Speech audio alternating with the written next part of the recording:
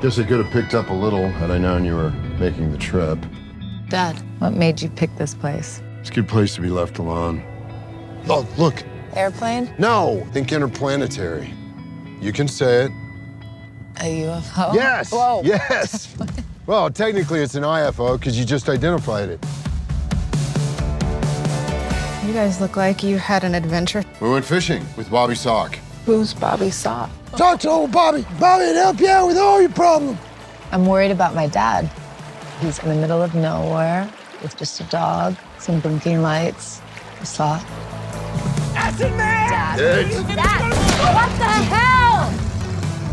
I can't tell what part of you is real. Nobody could ever support me in anything that I had to do that was important. How about a thank you for traveling 2,000 miles to be here? He thinks very highly of himself.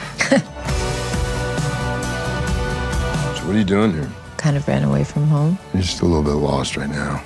I can just be here. I was here first. They want to make contact in two days. Be rude not to acknowledge their presence. Hit it. Now? Now! So much that we don't know about. So much mankind doesn't want to know about.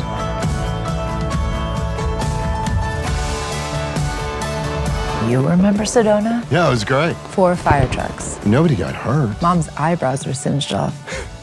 I told her to get back.